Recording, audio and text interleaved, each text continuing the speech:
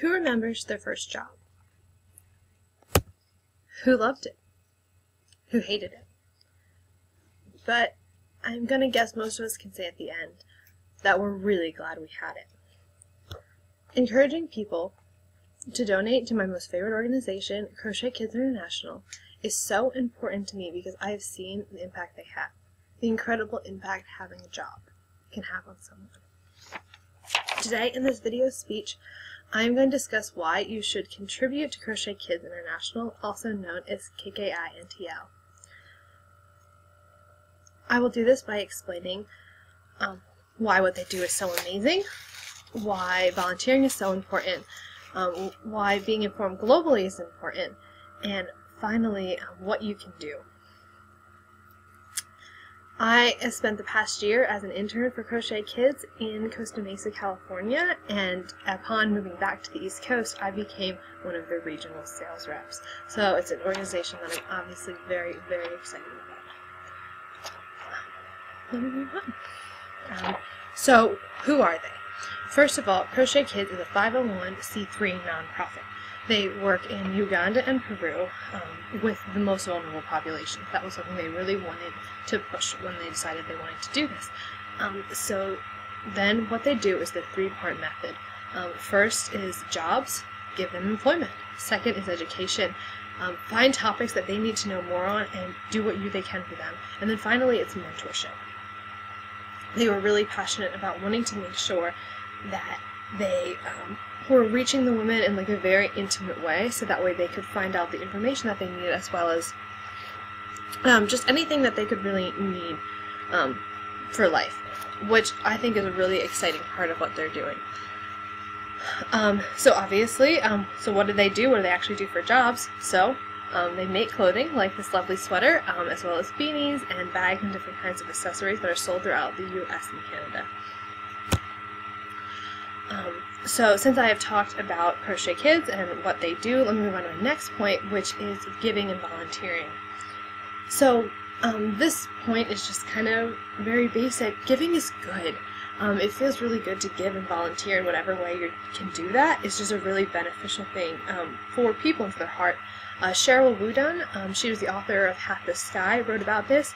She talked about how in her 2010 TED Talk, she discussed why all of this was so important and that once you are situated in your life with finances, once you are comfortable in that way, the only way to increase your joy in life is to give.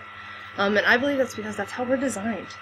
Um, and when you donate to Krochet Kids, you're becoming a part of this. You're becoming a part of someone's journey. You're becoming a part of giving someone what they really need, um, which is just a really amazing thing. Now that I've discussed volunteering, let me move on to my next point, which is being aware globally this is something so important that I think a lot of people forget about. You're not really serving yourself or anyone else well if you're not aware of what's going on in the world. Um, Malazzo wrote an article in 2013 about and mentioned Krochet Kids in it and what amazing work they were doing in, in Uganda. But before they could talk about that, they had to talk about gender issues. They had to talk about all of the kind of problems that Uganda is facing in regards to poverty, because you have to really understand those things before you can understand the good an organization is doing. I feel like a lot of times people kind of jump. They kind of jump to like whatever the thing is that they're supposed to believe is what they're supposed to be doing, um, what they think is really good. But a lot of times, if you're not really informed, it can actually be more harmful. Um, um, knowing this really makes a difference. Knowing what's going on just is this since we've discussed being globally aware, let me move on to my final point, which is what you can do with Krochet Kids International. Um, sorry about my face being covered a little bit. Um, but anyways, but first is buy a beanie. Support the cause. Go online. Buy one of these sweaters. Buy a bag. Um, the business part of this is incredible. Every product is hand signed by the woman who made it, so you can directly see how what you're doing is making her life better. So buy a beanie. Be a part of it. Donate money maybe you're somebody who has been blessed financially and you really want to give that blessing back. So make sure that you are going on, and no matter what is a little bit or a lot, just donate. That can be a huge part of it. Hold a fundraiser. I personally really like this one because I think a lot of times people feel like they want to do something but don't know exactly what that's going to look like for them or don't really know what they have to offer. So find something you love, you know, Do you love running? Host host a 5K. Um, do you love you know making something? You know, do a bake sale. Like whatever it is, is really cool. Um, talk about Krochet Kids International. That's the next one.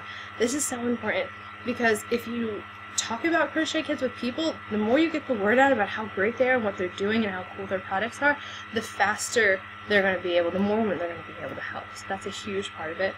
And lastly, contact Krochet Kids International. If you really have any questions that you would like to talk about or a way you want to get involved or an idea you have, um, let them know. That could be great.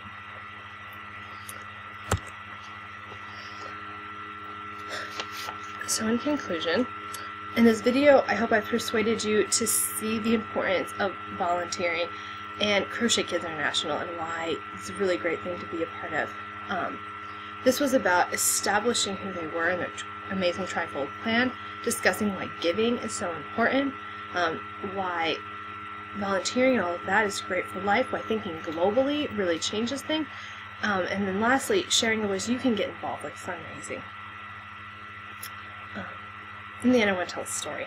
Um, as part of my internship in 2016, we talked to one of the founders. Um, when Stu went to Uganda for the first time 10 years ago, he kept asking people over and over again, What do you need? What do you need? And they just kept saying, Jobs, jobs is what we need. These are amazing, hardworking people that just haven't had the opportunities that they deserve to have. So, become a part of it. Buy a hat, change a life. That's what they keep saying. And so, you really want to do that. Um, be a part of her story. Thank you.